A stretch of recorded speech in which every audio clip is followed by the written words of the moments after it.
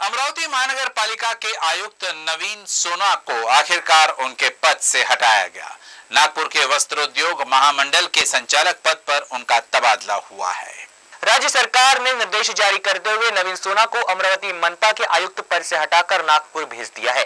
गौरतलब है कि पिछले कुछ दिनों से स्थानीय जनप्रतिनिधि नवीन सोना की कार्यक्षमता पर सवाल उठा रहे थे। शहर की खराब सड़कें और अस्वच्छता जैसी समस्याओं के लिए नवीन सोना को जिम्मेदार ठहराया जा रहा है। साथ ही मनपा के आर्थिक हालात खराब होने के लिए भी उन्हें दोषी करार दिया जा रहा था। असं आहे शहरातला कचरा उचलला जात नाहीये लाईट चालत नाहीये नळाला पाणी नाहीये रस्त्याला खड्डे आहेत, हे होणार कुठून? शेवटी निधीच्या अभावी तर होणार नाही.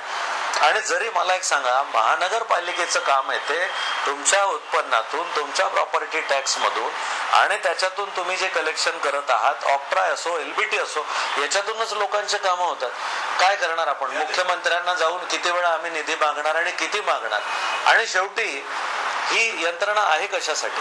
लोकांच्याच विकासासाठी आहे. खुद कांग्रेस के विधायक राव साहेब शेखावत ने भी नवीन सोना के काम पर नाराज़गी जताते हुए मुख्यमंत्री से शिकायत की थी। माना जाता रहा है कि स्थानीय नेताओं की यही नाराज़गी सोना के आयुक्त पद से हटने का कारण बनी। तबादले के बाद अब नवीन सोना नागपुर के वस्त्र उद्योग महामंडल के संचालक का पदभार संभालेंगे।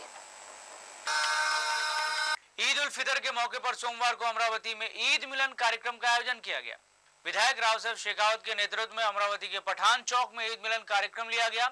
ईद के अवसर पर मुस्लिम भाइयों ने मस्जिदों में नमाजें अदा की। इसके बाद ईद मिलन कार्यक्रम में बड़ी संख्या में लोग शामिल हुए। मुस्लिम भाइयों से गले मिलकर उन्हें ईद की बधाइयाँ दी गई। यहाँ सभी रोजादारों को गुलाब के फूल वितरित किए गए। ईद मिलन कार्यक्रम के दौरान महापौर वंदना कंगाले, जिला परिषद अध्यक्षा सुरेखा ठाकरे, पुलिस आयुक्त अजीत पाटिल और पूर्व विधायक सुलभा खोड़ के प्रमुखता से उपस्थित थे। खुशी और भाईचारे का त्योहार बड़े उत्साह से मनाया गया।